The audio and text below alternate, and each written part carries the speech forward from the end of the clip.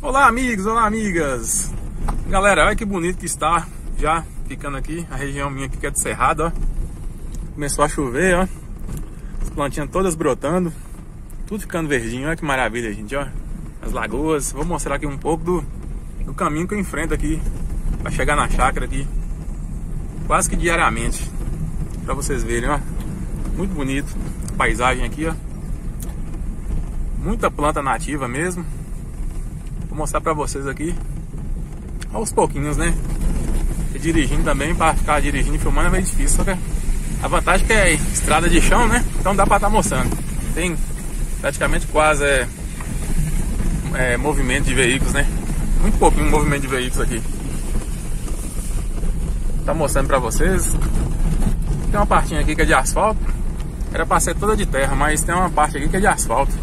O pessoal aqui um tempo atrás, né?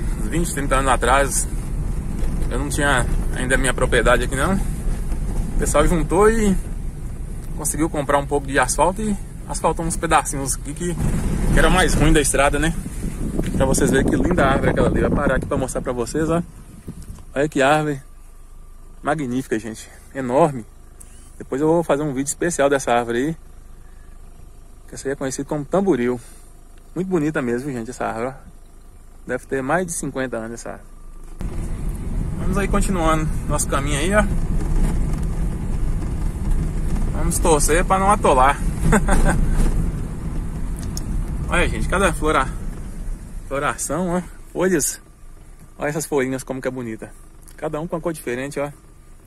Mandacaru, tem tudo aqui nessa região aqui, ó. No período seco aqui parece que tá tudo morto. Tudo sem, sem cor verde, né? Sem folhas. Parece que tá tudo morto. Aí chega esse período agora, né? Tudo verdinho. Muito bonito mesmo, hein? Vamos continuar. Vou pegar uma estrada de chão aqui agora, galera. Eu vou dar uma pausinha aqui. Enfrentar esse pedacinho aqui que é meio ruim. Então, assim que eu vencer lá aquela parte de cima lá, ó. Já mostro pra vocês como que é lá. Ok, pessoal. Encerrei aqui a chegada no topzinho, né? Daqui já dá pra ver, ter uma ideia mais ou menos como que é a parte minha lá embaixo, ó. A chácara minha fica mais ou menos ali, assim, ó, naquela parte ali, ó. Onde tem a, a represa ali, ó. Onde tem umas casinhas lá, dá pra vocês verem, ó. A chácara minha é mais ou menos ali assim, ó. Olha pra vocês terem uma ideia do tamanho dessa represa, ó. São 18 quilômetros de água. Ó, pra vocês verem, ó. Bem grandona. Isso aqui é só uma parte dela, gente. Tem muitas outras partes dela. Top, hein? Vamos continuar aí nosso caminho aí.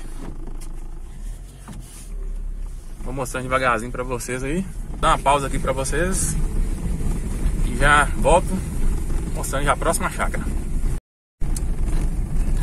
E galera, já tá já estamos próximo aqui, né? Chegando próximo da chácara já. Tem os cachorros dos vizinhos aqui. Olha que cancela bonita, gente. Ó, toda rústica, ó. Toda feita de madeira. Olha que bonito que é aqui, gente, ó. O pessoal fez um pasto aí pra estar tá criando animal. Chegando próximo aqui já da chácara minha, ó. Aquela caixa d'água ali já, já é a minha. Isso aqui já dá pra estar tá vendo as plantinhas minhas lá, ó. Os coqueirinhos.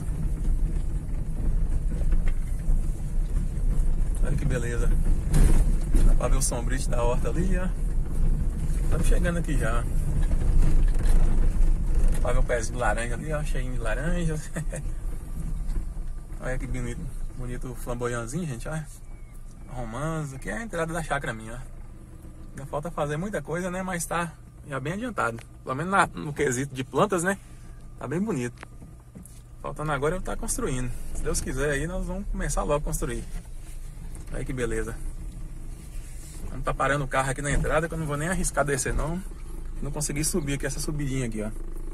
Mesmo não sendo, sendo é, muito íngreme, né? Mas é bom arriscar não, gente, ó. Então é isso aí. Isso aqui é a chegada minha aqui na chácara, gente, ó. Olha que beleza.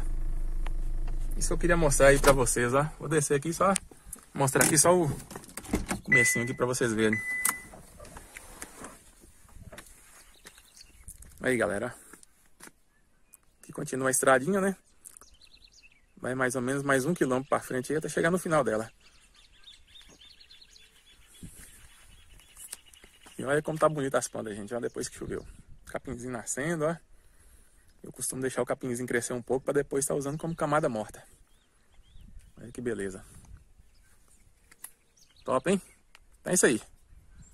Grande abraço, fique com Deus. Até o próximo vídeo.